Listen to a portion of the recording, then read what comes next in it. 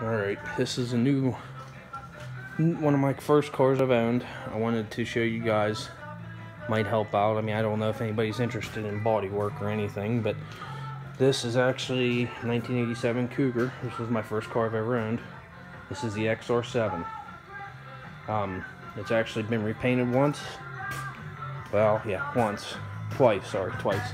Twice. Um, so what we're doing is we're restoring it. I put, this thing is 5.0 factory car, automatic. Um, I did, a little, as you can tell there in the wheels, these are Mustang wheels, which I took and painted the centers black, and I put a red Cougar emblem in them. All it is is a vinyl. Um, I mainly wanted to put this on the channel just so I have the videos look back on because, you know, I've had this car for so long, but might help some people out if it's something you guys be interested in, I'll show you some of the body work, how to do body work, which I know a lot of you know how.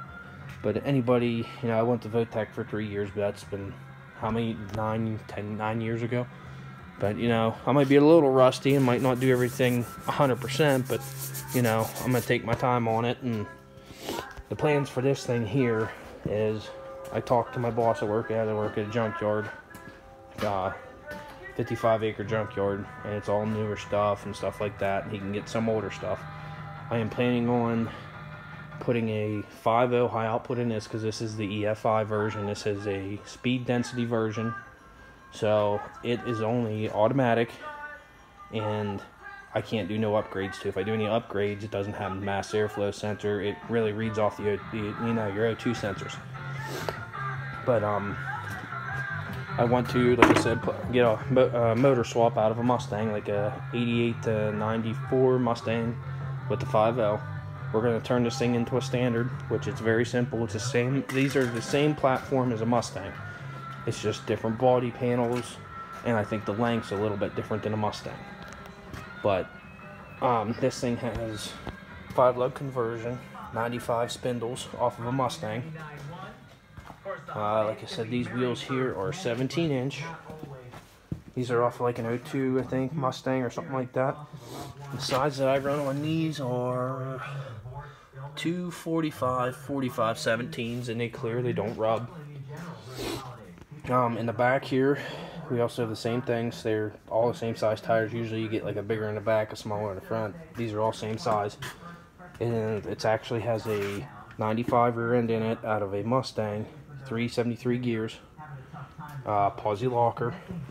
Now it's the original. It's not like a, you know, a full spool or, you know, completely all-time Posi or it's just your regular limited slip Posi. And but um, I just got a bunch of stuff in here for now until we get it all done. I'm trying to get them. It, it does run at the moment, but the motor uh, it shakes real bad, and I think the motor's just bad. It's it's an old motor and it wasn't the original one in the car. I just had it laying around and you know it does it runs okay, but it's not enough for me to put it on the road. I'd be afraid to take it. So I figure if I want to move it around, then I can move it around. But for now, uh, it's staying in there till we get everything done. And I'm going to do the whole. My other plan is underneath of this thing. I'm doing the whole underneath and chassis saver. Um, I don't know if you guys ever heard of that. That stuff is amazing. It's back here.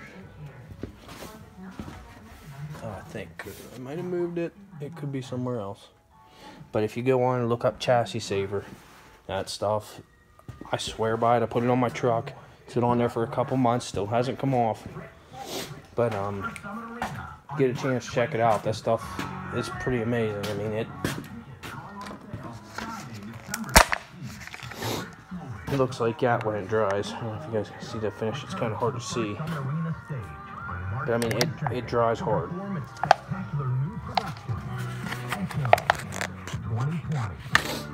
Um, so I just wanted to put this on my channel too. You know, we are going to start doing some build videos on this. Uh, I'm still waiting on the parts car and stuff, but you know, I gotta, I want to get this thing completely sanded down, paint, get ready for paint. I got some more body work to do, you know, like around the wheels and finish that up and some more dents, but I want to get all that fixed, get this thing ready. I started stripping the bumper because it actually, it's weird, it, it actually peeled. Now, I know this looks like it's peeling, but that's because I put that stripper on it and, you know, but the paint actually peeled. I don't know if there's any other spots I could show you, but it, it peeled off the front bumper and stuff, which you know, it might have been maybe I didn't prep it right when I did paint it. You know, it was back in Votech, but it happened after I hit the deer. I mean, you might be able to see, like, see that right there? That's kind of what it did. But on this here, when I hit the deer, it actually crinkled. This wasn't the original fender. It had the original, it's back here, but it, like, creased it, and I couldn't get it straight again, so I got this one off another guy. Um, he was about three hours away from me, but got that off of him and I got another badge for it, but I need to find a tail light yet and stuff. A couple little interior pieces. lighting does suck, but you know, I had this car for a long time and just be nice to do some videos on it, you know. See what people think, you know what I mean? It's I really don't care. It's my car, I like to just have it, you know. Some videos on to remember it or whatever, you know, eventually down the road and but I will also do the motor swap and stuff. I'll show you guys how to do that, which I know there's videos all over for that. But, you know, maybe somebody's building one, not sure what to do.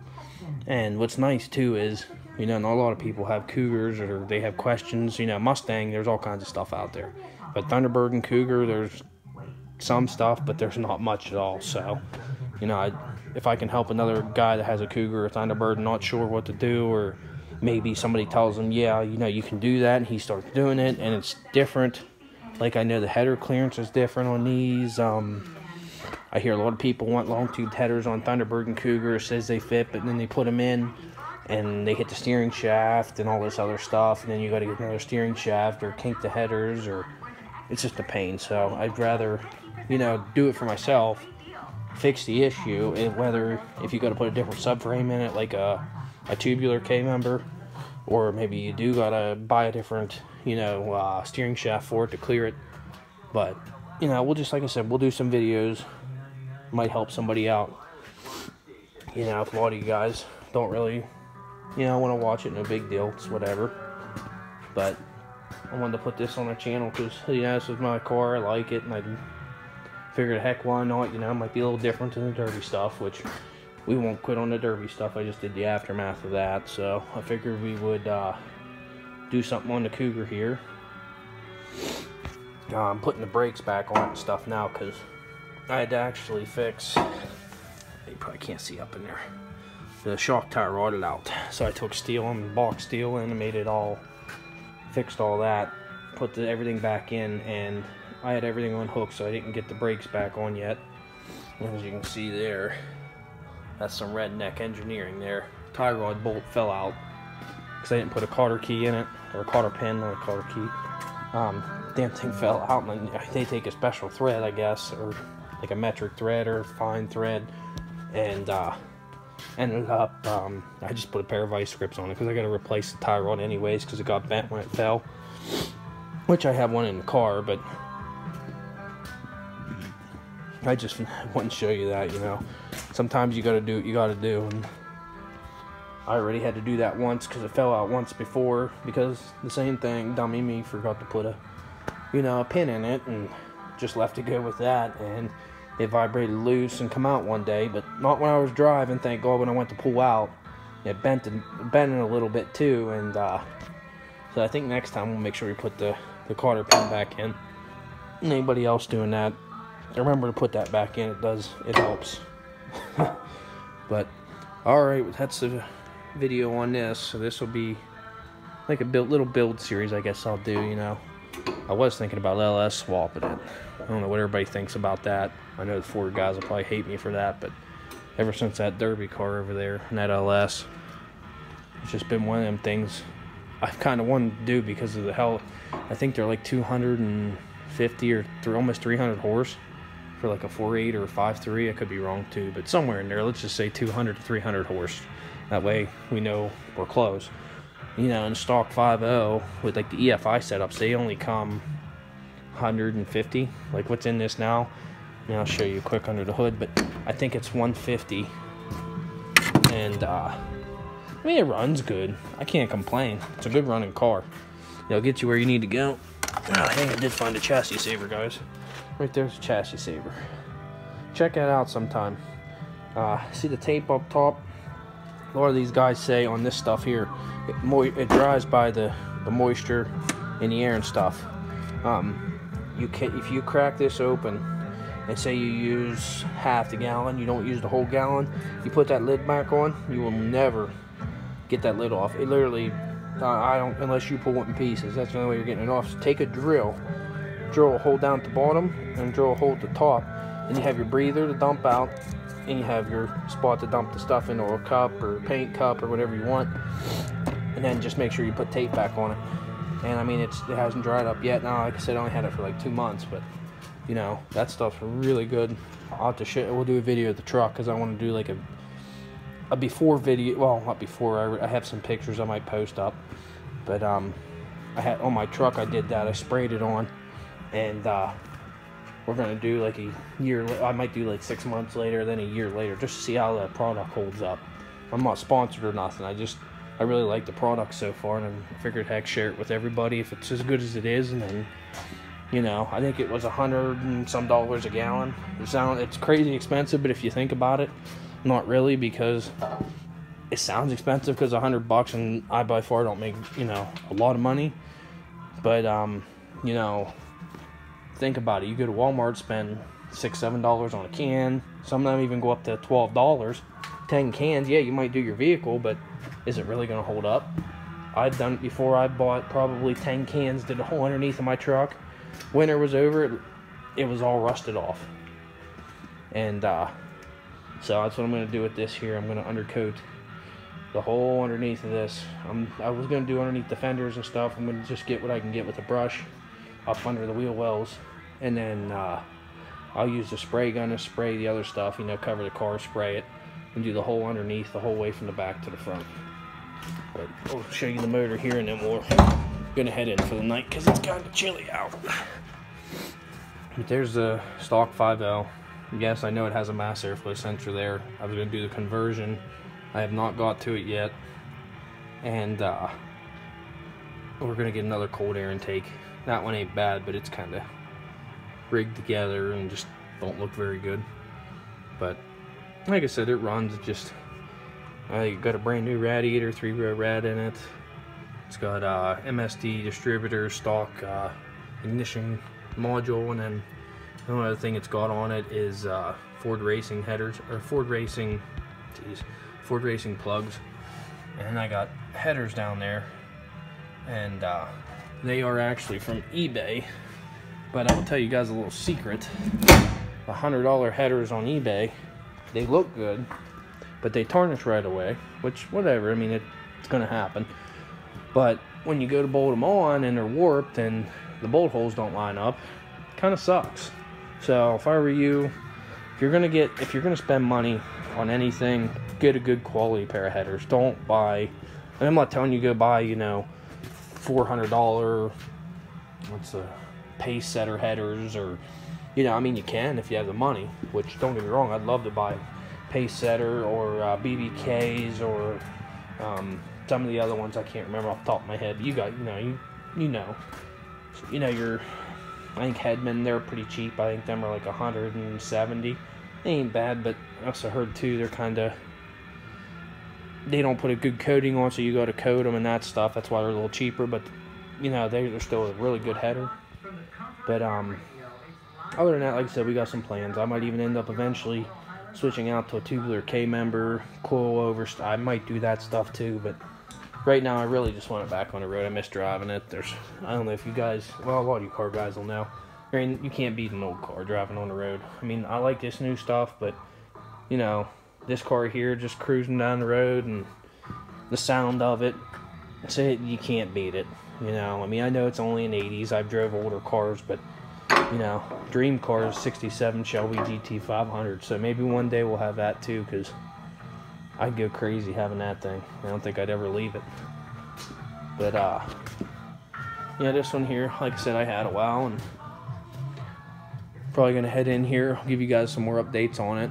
Uh, I'm gonna try and get out here tomorrow. I'm gonna help my dad put a tranny in this stupid Taurus because I told him not to buy it, but he don't listen to me. And of course, transmission, two transmissions, three motors, rocker panels. Oh heck, the list goes on. I can keep going and going and going. But you know what I mean. Um, so we'll just give you an update on this. This thing does have true duals. It has true duals, uh, straight pipe, back in the Super 44 Flowmaster mufflers, and once it, you know, we get it moved up, I'll show you guys the exhaust on uh, on the lift here. We'll put it up on the lift. I'll show you how I do the exhaust, but um, it's two and a half all the way back into the mufflers, two and a half tails, and it's got the uh, hideaway pipes. You can't see them stick out. They up in the corner, the back corners, they stick up in and they're kind of flared, and you can't see them. And I really like the look of that. Like I had the other pipes, they were when they originally done the exhaust, they did two and a half all the way back into the muffler. They come out of the muffler with two and a quarter. And then they had the two duals out the back. It did. It looked good, but it just didn't. It didn't. It sounded good too, but it just didn't sound right. You know what I mean? Because it was stepped down, and uh, it was real cackly. Like I don't know how.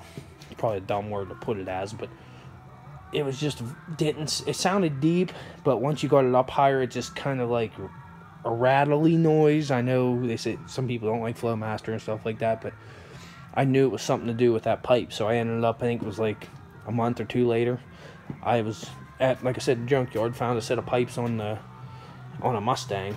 I cut them off, brought them home, brought them up here, and had uh, best friend put it up on the this lift here, and he put them on for me. And I mean, it was night and day with that thing. It sounded so much better. And I mean, there's nothing done to the car, but for being stock, it sounded really good. It was just insane how just that little bit of difference sounded. I don't know. I mean, maybe it was just me, you know, just the thinking, but I mean, it's just all around, it's a good car. It's fun to drive, and it's something I like, and that's really all that matters, you know. Don't worry about what people think. Do your own thing, follow your dreams. You know, a lot of people can hate on this and you know, oh, I don't like it. Everybody's entitled to opinion, so you ain't gonna hurt my feelings if you say you don't like it. You're not gonna bother me one bit. You know, I stay to myself. I do my own thing. Doesn't pay to get in all this drama today, and you know what I mean. If you guys have a car, don't let anybody tell you different. You, if it's a car you like, you do what you want with it. Don't listen to anybody. You do what you want to do, because if you start doing what other people say, it's not gonna be the car you wanted it to be. So just remember that next time. Don't don't fall into it. somebody wants to talk crap on your car, you know what? I'm not perfect. I don't do everything perfect. This car isn't was never 100%, maybe when it was first done, but you know, I mean, I could have kept this thing stock, but you know, I like the way the wheels look, so I bought wheels. You know, I mean, it's it's all in what you want to do. And like I said, don't let anybody talk you out of it. You do what you want to do. You know, if you want to even though if you know you, somebody says, "Oh, it's a stupid car" or whatever, maybe they're just jealous. Maybe they wanted one. But enough of that. We'll do uh, do some more videos on this here. Might be a little bit on this one, but I'll update you if I do anything else. Um, I got to finish putting the brakes on, put the tires back on, and uh, then I'm gonna start finish sanding. So I mean, I could show you maybe do like a time lapse with the GoPro, some sanding, which I know it's kind of boring, but you know, show you guys some things and uh, we'll go from there. So once we get you know some more parts and stuff in, I'll show you guys the parts and stuff like that. And stay tuned too for the derby videos. We will have plenty more of them. Probably a couple coming up soon. And I am also stay tuned because we are going to do some more aftermaths on my dad's car, which I don't know if we videoed that one. I can't remember if we did or not, but his is a uh, his derby car was had a 305 in it. Chevy carbureted with pipes, and it, it is a 98 town car. And then there's another car I want to show you guys. It's actually on the channel. It was that 2008 Crown Vic. We will also do a aftermath of that. Um, I forgot to put these on the channel. It was my fault. We were in a hurry doing three cars for Listy, so we will put them on. So stay tuned for that. Um, then videos will probably be coming here possibly tomorrow or possibly uh, next weekend. So Alright, guys. We'll talk to you next time then. And we will do, like I said, this will be a couple build series. So, I mean, this is going to be. Let me know what you think. If not, it's no big deal. You don't have to comment. If you want to, comment. If not, it don't bother me any. But, alright, thanks for watching, guys. We'll have some more videos for you here.